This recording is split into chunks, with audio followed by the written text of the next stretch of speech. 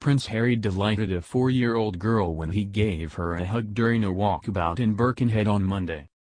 The Duke of Sussex, 34, embraced Eliza Morris, from Birkenhead, after seeing her sign Gingers Unite, I love you Harry among the crowds this morning.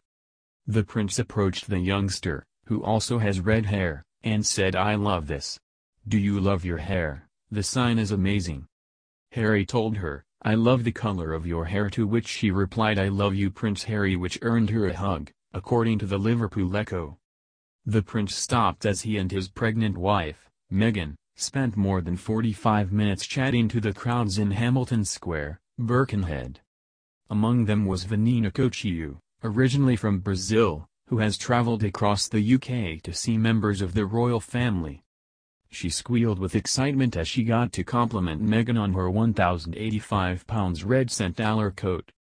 The couple began their visit at Hamilton Square to view a new sculpture erected in November to mark the 100th anniversary of Wilfred Owen's death. The statue, which is named after one of the Birkenhead war poet's poems, Futility, is cast in bronze and represents an exhausted World War I soldier. They will unveil a plaque to mark the visit, before meeting local veterans and members of the Birkenhead Institute Old Boys of which poet Wilfred Owen belonged to, and which played a part in the creation of the tribute. This afternoon they are set to visit Tomorrow's Women Wirral, an organization that supports women in vulnerable circumstances. Initially established in 2011 to support women upon their release from prison, Tomorrow's Women Wirral has since expanded and now offers an extensive range of training courses and workshops for more than 6,000 local women. These include support groups around mental health issues, domestic abuse, and addiction. Harry and Meghan will hear directly from the women about their experiences, before visiting the on-site charity shop, cafe, and inspiration hall.